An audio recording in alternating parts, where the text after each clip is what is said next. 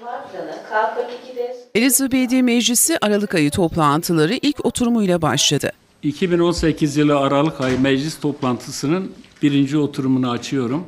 Belediye Meclis Başkan Vekili Mithat Coşkun başkanlığında gerçekleştirilen toplantının ilk oturumunda öncelikle gündem dışı maddeler görüşülerek gündeme alınması kararlaştırıldı. Evet, maddenin imar komisyonuna havalesini oylarınıza sunuyorum. Kabul edenler, etmeyenler Meclis üyeleri daha sonra gündem maddelerini görüştü. Emsal birliği en çok 15 Eylül yapı nizamında Doğu ve Batı cephesinde 20'şer metre, Kuzey ve Güney cephesinden 15'er metre çekme mesafelerinde orta öğretim tesis alanı içerisinde yer almaktadır. Taşınmazın 1 bölü 1 ölçekli uygulama imar planında plan tadilatı yapılarak söz konusu parselin çekme mesafelerinin hepsinin 5'er metreye düşürülmesi talebinin imar komisyonuna havale edilmesiyle ilgili teklifin görüşülmesi.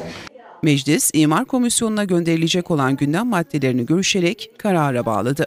alanı içerisinde yer almaktadır. Taşınmazın 1 bölü 1000